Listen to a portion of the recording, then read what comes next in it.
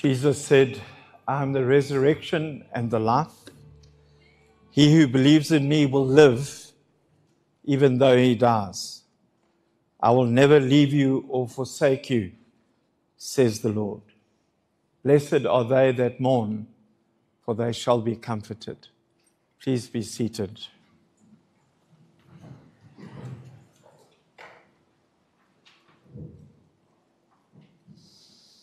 On behalf of the family, I welcome you to the service where we come to celebrate Buck's life. On behalf of the children and Glenda, their families, I extend a welcome and a thank you for coming to share the service where, of course, we saddened, but we've come to celebrate Buck's life. You know, grief is the price we pay for love. No doubt, the greater the love, the deeper the grief. As saddened as we are, the family have decided to celebrate his life, a life well lived. So we come today to celebrate Buck's life. Come join us in this celebration. Let us pray. Gracious Lord, you're a God of all comfort, and today is not an easy day for us accepting that in the next few moments we're going to be saying our farewell to Buck, our husband, father, friend. Lord, that's difficult for us. But we choose to worship you and to celebrate his life. Let your light shine on our hearts that we may be able to pay our last respects lovingly let your grace be upon each of us in this place. Our hearts are saddened, but we remember that grief is the price we pay for love. Help us to celebrate Buck with joy and gladness, remembering all that you've accomplished in and through him. We pray this in Jesus' name. Amen. One of the beautiful parts of the service is the two beautiful old hymns that we don't really sing these days, um, which really excites me. Might not be as exciting to you, but um, um, the old rugged cross. If you're able to stand, won't you please stand and join us in song?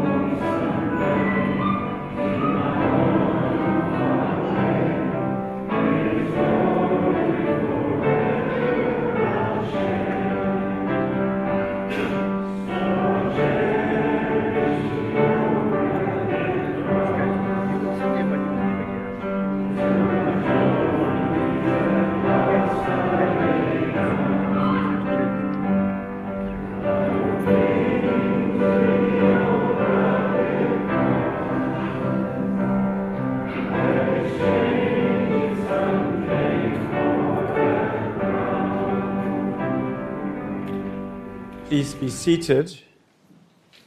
Thank you to Corin, who just switched so uh, easily from the clavinova to the, um, the piano. We do appreciate uh, uh, your kindness, Corin. Won't you join me as we pray? Lord Jesus, we gather this morning as your children, saddened by Buck's death and being parted from somebody who has meant so much to us. We confess, Lord, we question in our hearts why it should be so.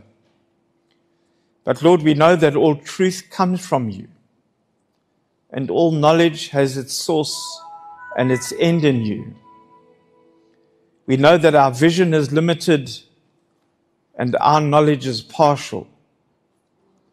So, as we stand in the presence of these ultimate realities, knowing that knowledge falls short, in our frailty, we lean as children upon their Father. We take comfort in knowing that you understand our sorrow. For the tomb of your friend Lazarus, you wept. You understand our many, many questions. Lord of life and conqueror of death, you are our help in every time of trouble. In the presence of death, you comfort us who mourn. We bow before you, believing you bear our grief and share our sense of loss. Give us grace to worship you, to trust in your goodness and mercy, and assure us that because Jesus lives, we also live. God of grace, God of power, send your Holy Spirit among us that we may hear your promises and know them to be true, and so receive the comfort and the peace they bring. Through Jesus Christ, our risen Lord and Savior. Amen. Going to ask Mark um, if he'll come and share with us uh, some thoughts and some memories of his dad. Thanks, Chris. Morning. Can everybody hear me there? Okay. Morning, and thank you for coming here to pay your respects to my dad. I'm Mark, Buck and Heather's son, and I'd like to share a bit of what my dad meant to me. When I sat down and tried to work out what I should say, I came up with a few, a few very important traits and principles that he imparted to us, especially us boys. Dad was a large, loud presence, difficult to ignore. Funny, humorous, he had an infectious laugh. He was interesting, logical. He, he was a man of high integrity, a family man first and foremost, a loyal friend, kind and generous, a wonderful, faithful husband, and lots more. Dad never missed an opportunity to tell anyone who would listen how proud he was of us children, grandchildren, and great grandchildren, and what were our achievements. Dementia is a terrible disease and it robs us of the cognitive, intellectual interaction with that person that we've become accustomed to. I'm glad most of you remember him as he was and not what the disease turned him into. He taught us, and especially me, a few life lessons that we will teach our children and have taught our children. And some of them are if you shake on a deal, don't break your word. You're only as good as your word. Don't hold a grudge, sort it out immediately. Strive to be the best you can be. He always said that no one remembers second place, and that put a huge pressure on all of us. Put your family first. Family was the most important thing to him. He always said, and being the consummate salesman, everything is for sale except my family. Be generous to the people that are important to you. He was incredibly generous with his time and other things with his children and grandchildren. Don't loan money to anyone you're not prepared to give it to. So if they fail to pay it back to you, it won't destroy the relationship because that relationship must have been important for you to loan them the money in the first place. Embrace change. Roll with the punches that life dishes out and get on with it. Don't procrastinate. There are no get rich quick schemes. Your working life is a marathon and you need to stay the course, work smart, work hard, work long. Don't give up. If someone else can do it, you can too. He used to say, Remember, you're an Oostingh. There are a couple of funny stories, and I thought I'd just relate two of them because he was a great storyteller and he always kept us enthralled with his long stories that could take quite a long time to get through. Dad's working life was all about Dad's working life was all about sales. He entered the used car business prior to any books being that had gave the statistics of the buying prices and selling prices of used cars. So you had to use your NAS to buy the cars. There are a couple of used car dealers I can see in the crowd here. Uh, they might be able to remember it. He always said that the advent, advent of these book prices took away the entrepreneurship of the operator. Anyway, a story that he loved telling happened in his early days of car sales. He used to visit one of the old used car dealers and buy stock and get pointers on how to sell cars from the self proclaimed master of this profession, Alex Saffy, father of George Saffy. Anyway, he walks into the garage just as an irate customer arrives, and the guy shouts, Where's Mr. Saffy? I want to speak to Mr. Saffy. Dad says he made himself very small and thought that he would see how Mr. Saffy handled this and maybe learn from it. Mr. Saffy came in and the customer shouted, Mr. Safi, you said this car you sold me was in good condition and you gave me a thousand mile guarantee. It's using oil. Mr. Safi apparently calmly asked, How much oil is it using, sir? The customer replied, Used two pints in the first hundred miles since I got it. Mr. Safi shouted, Wally! to his mechanic. Wally came running in and Mr. Safi asked him to get two gallons of oil. When Wally returned, he gave the customer the two oils and stated, Here we go, this will see out your guarantee. And before the customer could reply, he piled two cabbages, a bunch of carrots, and a cauliflower on top of it, stating, This is for the wife. The customer apparently thanked Mr. Safi and left. And Dad said he learned that from that, that the customer is always right, and you need to honor your promises and commitments. Keep your word. When I joined Dad's business in 1989, he used to order his outboard motors from Belgium using a telex machine. I'm sure there are very few people present who know what a telex machine is or how it works. Anyway, with the advent of the fax machine, I thought it prudent for us to get one. He put up huge resistance, but apparently, due to my continued persuasions, we got one. I overheard him explaining and showing to one of his business associates or friends in his office the wonders of the machine and how clever the youngsters were with developing this, he embraced change. At the time, Peter Jose and, and I formed Automall, and we convinced Nissan and some other franchises that us youngsters were their best bet for the franchises going into the future for this uh, area. We found ourselves short of some capital to make the transaction work. Unfortunately, both Peter and I had exhausted our abilities to to borrow any more money from the banks. We were hooked up to our eyeballs, and I went to go and see him to ask him whether he would extend us some bridging finance, knowing that we had no collateral to give whatsoever. He said, Of course, shook our hands, and he said he knows we'll pay him back. I know that he would have just given it to us if things went south. Luckily for us, they didn't. Without him, it possibly wouldn't have happened. Dad and I shared a love of flying, and he owned numerous aeroplanes during his life. In later years, when he no longer flew much, Wayne and I used to joke that all he needed to pursue his flying hobby was an aeroplane in the hangar, a photo in his drawer in the office so that he could show his mates about which aeroplane he had and what he did. For those of you who visited him in his office above Bucks Marine in Beach Road, you might have noticed on the wall he had a poem by Rudyard Kipling. If I'm sure the older guys might remember it. It was in a nondescript frame on his wall. When I asked him why he had it up there, he said, Because that's how you should live your life. The poem closes with a passage that I hold close to my heart, and I'll read it to you. If you can fill the unforgiving minute with 60 seconds worth of distance run, yours is the earth and everything that's in it, and which is more, you'll be a man, my son. Don't waste time, was the message. Don't waste time. Do what you can do while you've still got the ability to do it. Dad was my mentor, business coach, father.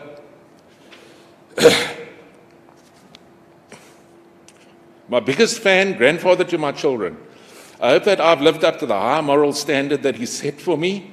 Dad, you're gone from this earthly world, but I won't forget you for what you stood for and will continue to pass on these high principles to my family. Glenda, I want to thank you for loving Dad, being with him to the end. It wasn't easy for you. We know that. But you stayed the course, and for that we are eternally grateful.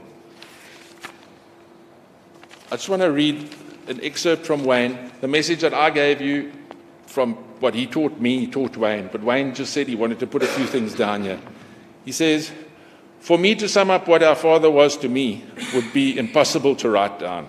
He was my hero.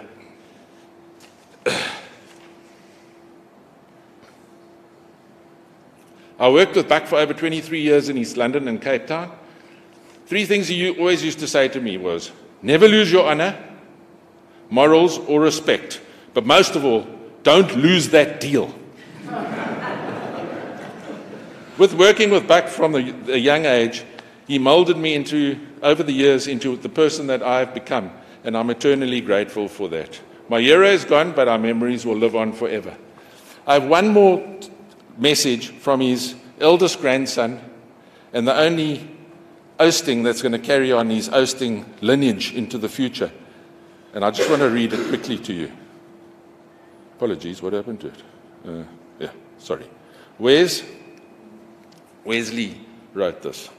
It's difficult to select the moments shared with my gramps, who played such a major role in my life. With many special memories, these are the ones that stand out most to me. Hunting rats on in the farm shed, buying me my first motorbike, overseas trips to Disneyland, Everglades, Brazil, Mauritius, that Mishan and I will always remember. Taught me to fish. I love going to Kob Inn and later fishing down at his house on the river. Gramps was always on my side during good and troubled times with kindness, understanding, and encouragement. I'm so happy to have the chance to have had the chance to introduce my son Cade to his great grandfather. I'll ensure that Cade knows he's he can proudly carry the Oostingh name and the legacy of Buck, the strong man, the businessman, the family man, and most of all, my gramps. He was truly the best grandfather anybody could ever wish for. I am so grateful that I got to have him in my life and I was able to do all these things with him. Love you, Gramps. I'm going to miss you. Thank you. Thanks, Chris.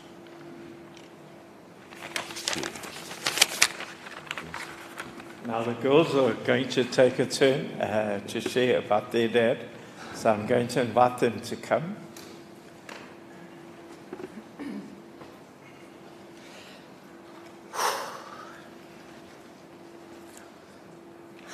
Okay, I wasn't sure I could do this, but I wanted to honor my dad as I remember him. My dad's name for me was Bell, or his Kerry Bell.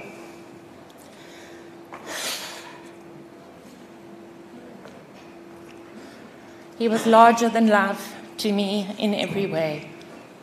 He was my hero, my safety net, my rock, and my loving dad most of all. My fondest memories were weekends at the Border Powerboat Club where he raced. It was a family affair with Uncle Dave, Auntie Lynn, and our cousins Tavis, Brennan, and Craig. My dad was a man's man, and he loved speed, whether it was boats, planes, cars, or motorcycles. Me being a girl never stopped him allowing me to take the controls in his plane and doing the wormies or the butterfly. We used to do our Sunday breakfast runs on his motorbike, where I clung to him as we experienced the open road. It was exhilarating.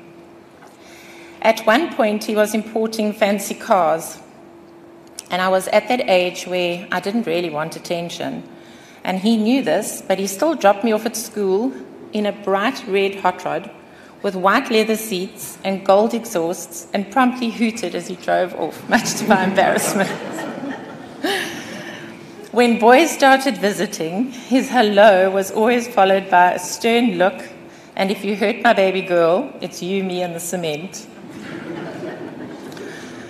My dad seldom got angry with me, except for the time he found out that I'd gone to numbers on the back of a 50cc motorbike without a helmet.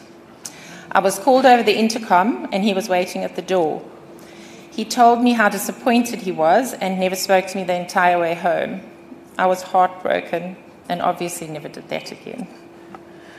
My children, Aaron, Chelsea, and Murray, adored their Gramps and Nanny.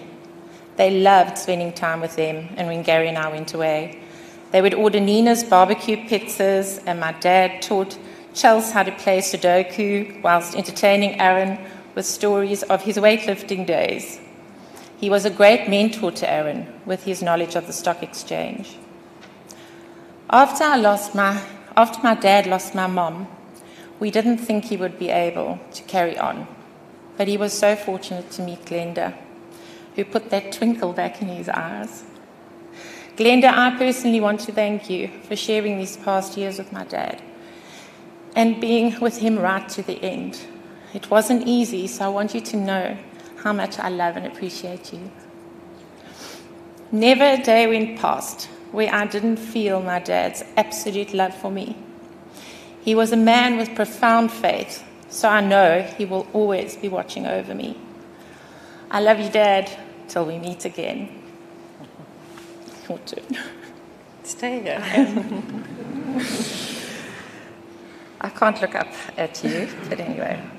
When I thought about writing a short message about my dad, it seemed an impossible task. I could write a book about him and all the wonderful memories he leaves behind.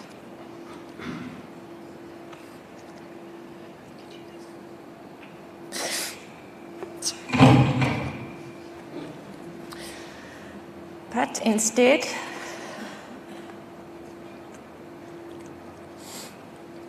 I decided to keep it short and sweet. and just say thank you to him. Thank you, Dad, for being a devoted and wonderful family man. Thank you for loving Mom with your whole heart. Thank you for loving us, your children, so unconditionally and with so much pride. Thank you for being that special bumpy to all your precious grandchildren and great grandchildren. And thank you for choosing Glenda to be a part of our family. We all love and miss you so much already. Rest in peace, darling dad. I am honored and blessed to call you my dad, and I will keep you close in my heart forever.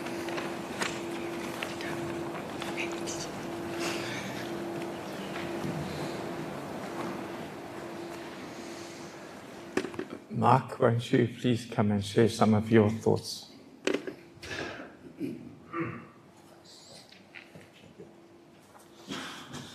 Good morning. Buck was my cousin, but he was also my friend. Basil, always known as Buck Oostingh, I never knew him as anything other than Buck was born in East London on the 10th of October 1940, and he lived 83 years. Buck was larger than life, both physically and in bearing. He always made an instant impression when he entered a room. People would say, Who's that fellow? He was the elder of two brothers, and David passed away during COVID a few years back. Buck was a family man. And he met Heather while yet at school. They formed a deep and a lasting marriage of 54 years before Heather passed on to glory some 10 years ago. The marriage produced the four children. You've heard all about them already Mark, Wayne, Kerry, and Corrine. Many grandchildren followed, and also grand, great grandchildren. Buck was a big, strong man brimming with courage. He was an entrepreneur, and he started many pursuits both by way of business and other activities. He became involved in weightlifting in the heavyweight division, speedboat racing, a little motorcar racing, then on to acquiring his own aeroplanes, and you've heard a little of that. He was a hunter of birds. He loved to hunt birds but not, a great, not very great at animal hunting because his heart was just too soft. He was a fine shot and represented South Africa as a shootist. He was the pilot of the boat that towed a German national to a world endurance record on, on a slalom ski on the Bridle Drift Dam. Buck purchased and sold many properties and was landlord to many a business and householder. He acquired a certain outboard motor agency for Southern Africa and spent the latter part of his life in the marine business. Many of us remember that.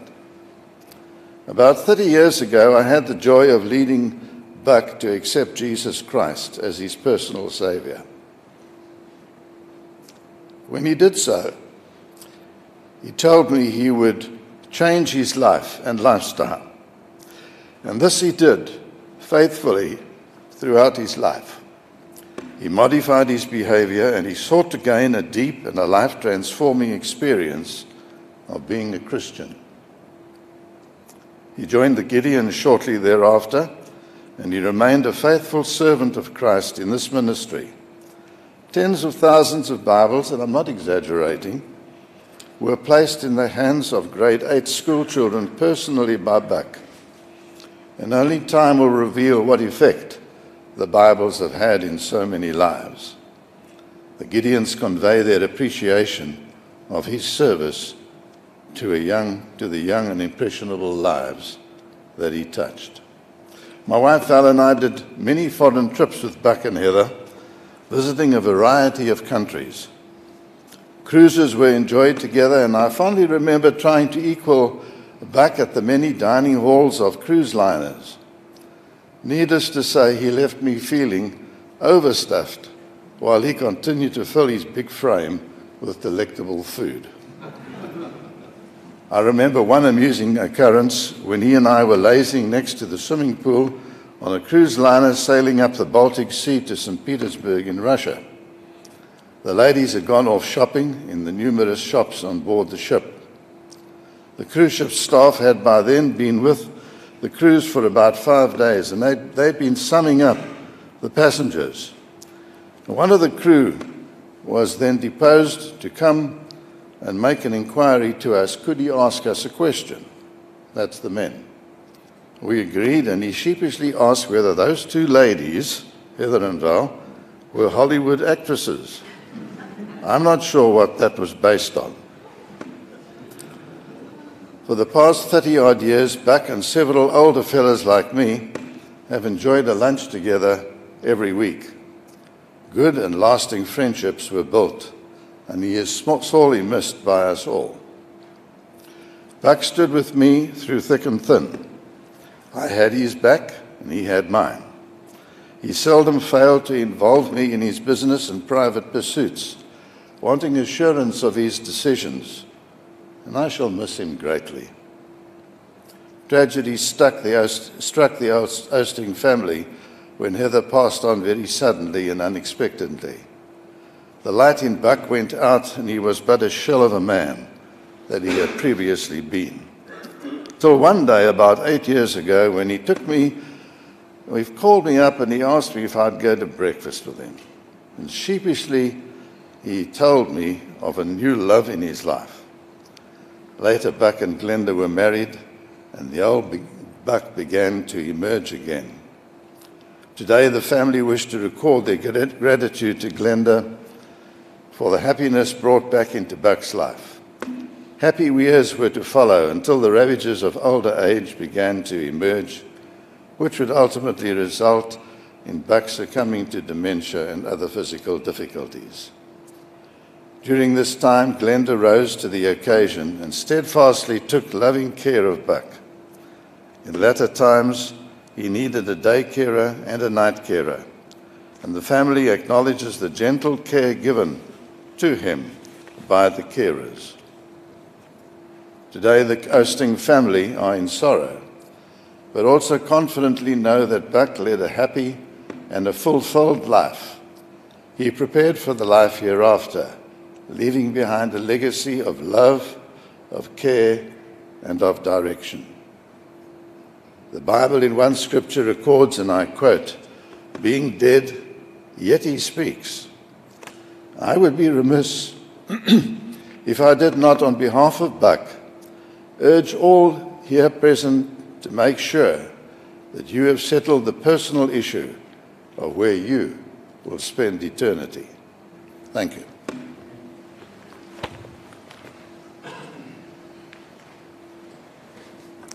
Thank you very much uh, for all those who shared uh, such beautiful words. Um, it really gives us a, a, good picture of who Buck uh, is and was. Um, I was very impressed uh, to see some photos of him uh, weightlifting.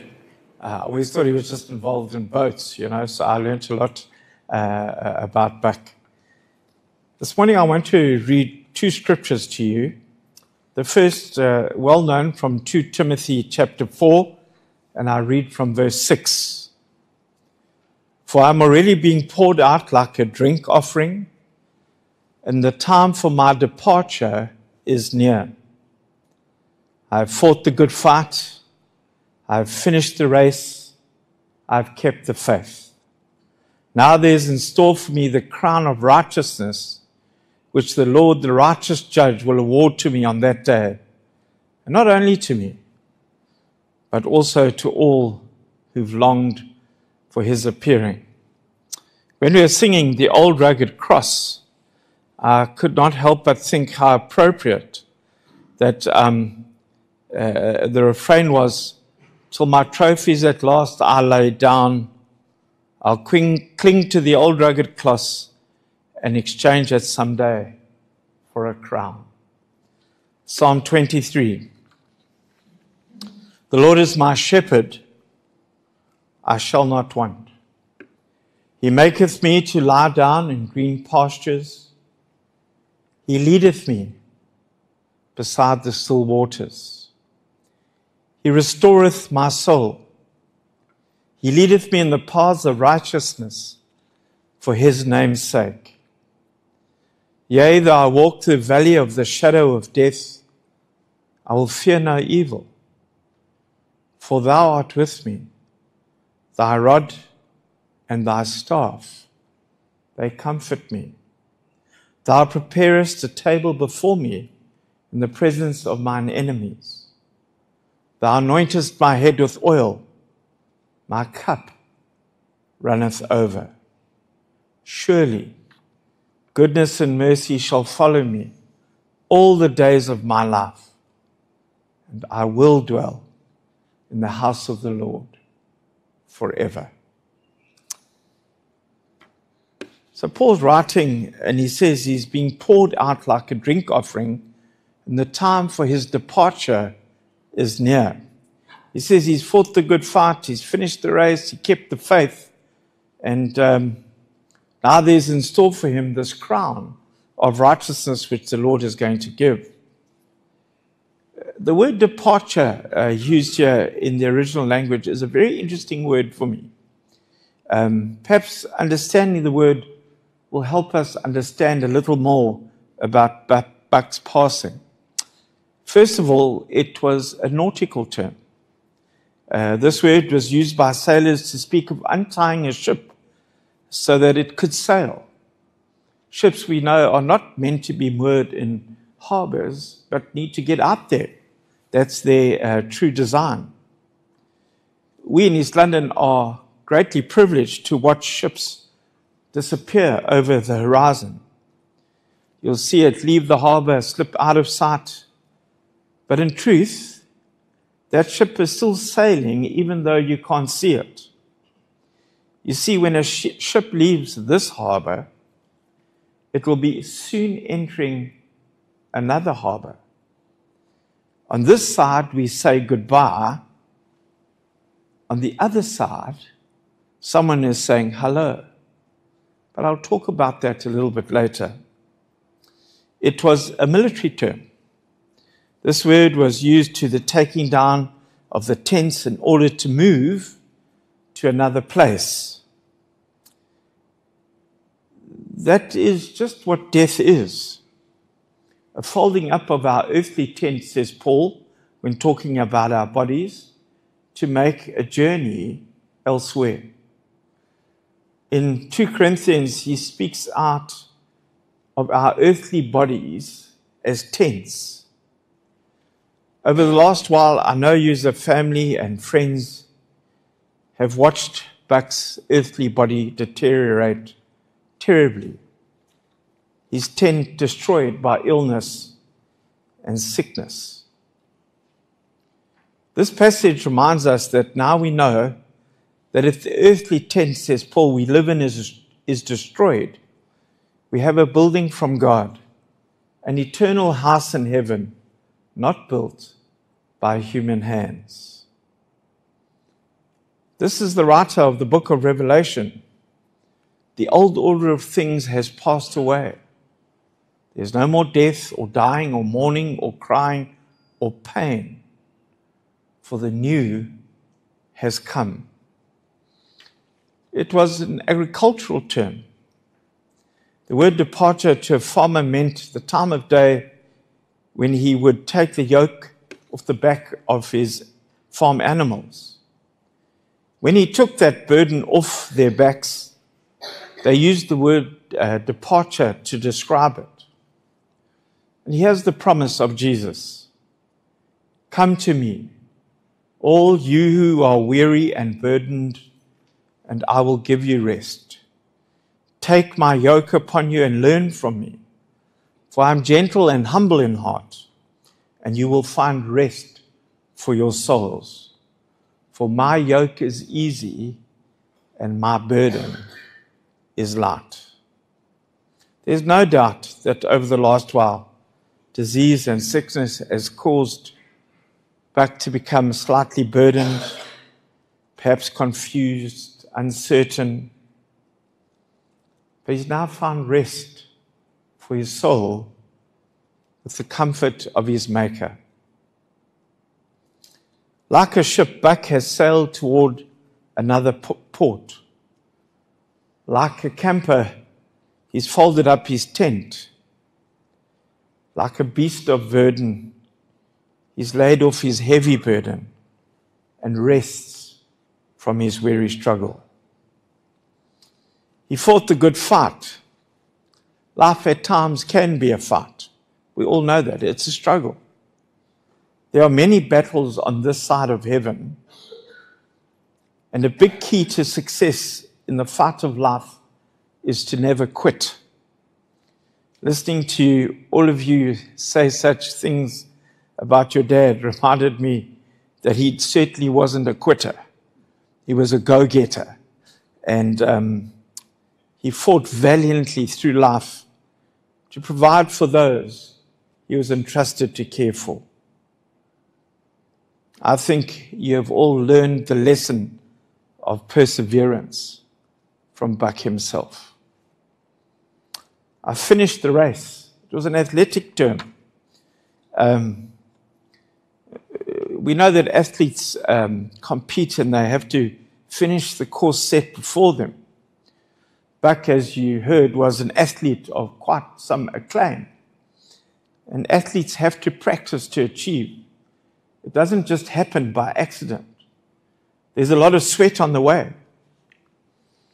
But Buck has finished the assignment given to him by God. Buck has finished the tasks that God gave him loving wives, raising children, and even passing on the faith, as we heard of the many Bibles placed in young people's hands. What I've learned over the years of watching the Comrades Marathon is it's not so much about how you start, but about how you finish. Back in terms of his faith, finished well. He was regular in church. I mean that sincerely. And um, Glenda, we're going to miss him. I know you more so than any others. He kept the faith. He was always pleasant, always had something nice to say to me at the door. And around him there was a calm that Buck was putting his faith into practice, assuring that his relationship with Jesus was just right. In concluding this morning, I want to remind you of the beautiful promise of our Lord that we are his sheep. We are the sheep of his pasture, and we are promised that he knows each of us by name. That not once was Buck alone, but the great shepherd came and took him to the home he'd prepared for him. And he now rests in the arms of his Maker. I promised to get to the point of hello and welcome a little earlier. The Lord has welcomed Buck. Hello, Buck. Well done, good and faithful servant. Yours is the kingdom of heaven. Come and share in the Master's happiness. Let us pray. Eternal God, you hold all souls in life, and we praise you for those who've shared this earthly life with us and have now entered into eternal life with you. Especially, we want to thank you for Buck, for all that made him special, and all that you have given him and accomplished in him, and all that he has meant to those who knew and loved him. We thank you for his sense of humor, for his unwavering love for his children, his grandchildren, his spouse. We thank you for his caring and loving ways. And now, Lord, we thank you that death itself is conquered. Help us to release him into your care and keeping in the confidence that all life finds its fulfillment in you.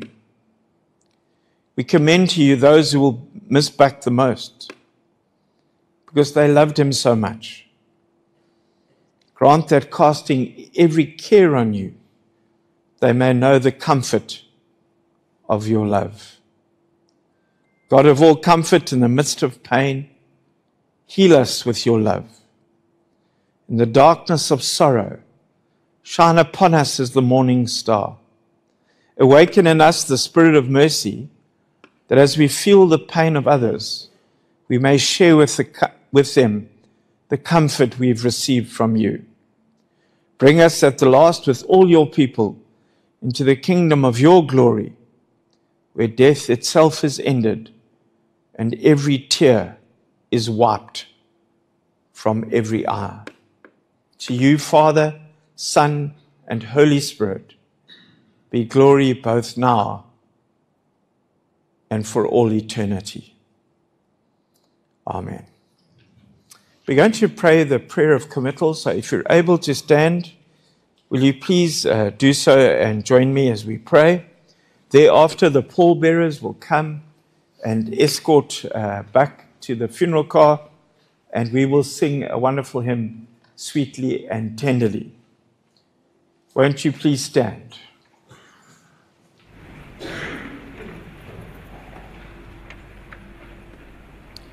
Blessed are the dead who die in the Lord from now on. Yes, says the Spirit, they will rest from their labor, their deeds will follow them. Lord, we've entrusted our brother Buck into your hands, and now we commit his body to be cremated, ashes to ashes, dust to dust, in the sure and certain hope of the resurrection to eternal life through our Lord Jesus Christ, who died, was buried, and rose again for each of us and is alive and reigns forevermore. Jesus said, Do not be afraid. I am the first and the last. I am the living one. Most holy God, you have brought us face to face with the mystery of death. Now we ask you to bring us face to face with the mystery of life. Let us be born again by a touch of your Holy Spirit upon our repentant hearts. And let the glorious kindness of your face shine on us, and we will be glad again. Let it be said of us that to live was Christ and to die was gain. And we ask this in your glorious name, Lord. Amen. I'm going to ask the pallbearers if they will please come to the front Uh, to be assisted by Donnie.